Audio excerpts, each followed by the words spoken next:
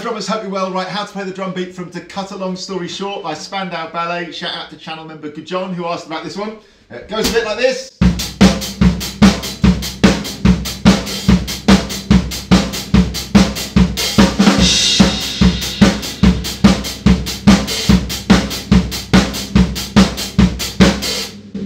So you've got bass drum hammering away, four on the floor. One, two, three, four. One, two, three, four. Uh, snare drum, two and four. One, two, three, four. One, two, three, four. And the interesting bit, and perhaps the tricky bit, if you're getting started with your drumming in the first few months or maybe years of playing, to play at this speed, 142 beats per minute, is the offbeat hi-hat. When we get started playing the drums, we play a lot of one and two and three and four and like straight eighth notes on the hi-hat or quavers, or we play even one, two, three, four, just quarter notes or crotchets.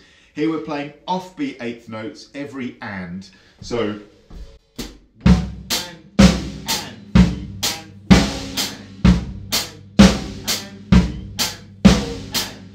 like I say, it depends where you're at with your drumming. That might be fine, that might be something you need to build up. If you're quite near the beginning, best way to do it by a million miles, as far as I'm concerned. I think sometimes people think you're not supposed to do this, or this is wrong, or like, if you're, this means that you're not talented. And I'm here to tell you that it's absolutely nonsense. Everybody has to do this, or at least I have to do this with loads and loads of things that I learned, and I've been playing the drums for almost 30 years. What you do is you go one note at a time, and you let your hands and your feet and your brain see it. You're not allowed to say, I'm struggling with this, or this is hard before you've done this at length.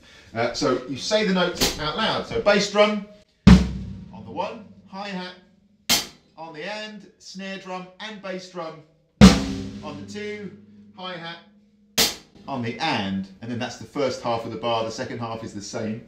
So you've got one and two and three and four and. So you might say you might say this is a classic disco pattern, right?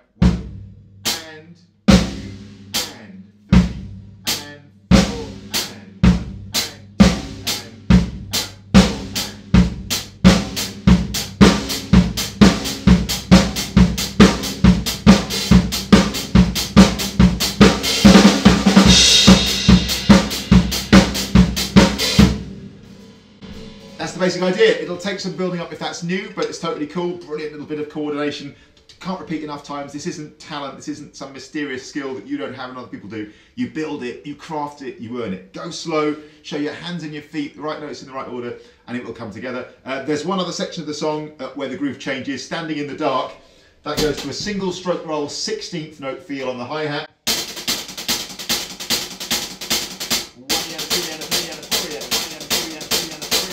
With the bass drum again playing four on the floor, all four quarter notes.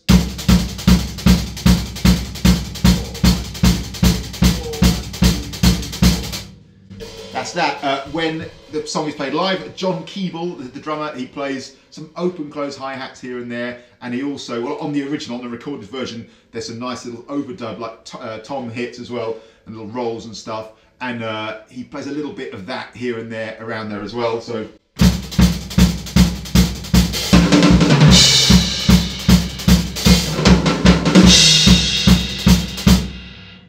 that kind of business. But the core grooves.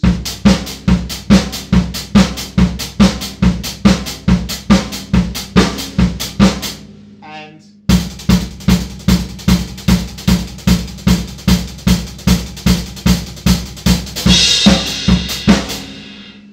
you can get those two down at 142 beats per minute.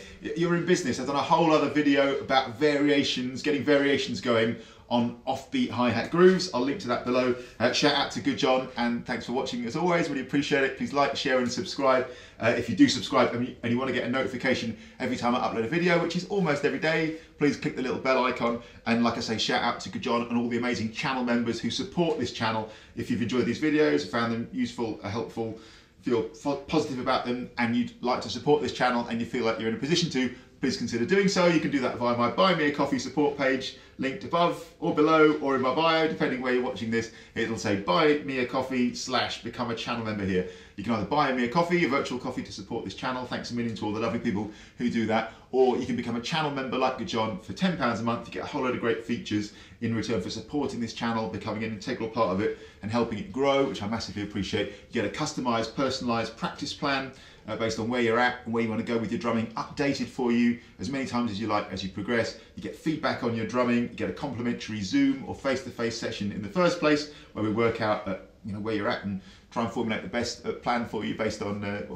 where I'm my experience and what I think will work for you. And then uh, from there, uh, and if you want to check in for future sessions, you can do that as well. A whole lot of other things. You get the notation and the practice along versions for videos such as this. That, that'll be over on the channel members page for this uh, these two grooves uh, shortly. And then a whole lot of other things like ongoing drum support. You can message me anytime. I'll reply with your questions. You request future videos on the channel like John has done here and loads of other stuff as well to help and support you as you develop on the drums. If, if you feel like that would be useful, link above or below. And thanks for watching as always. Really appreciate it. Cheers.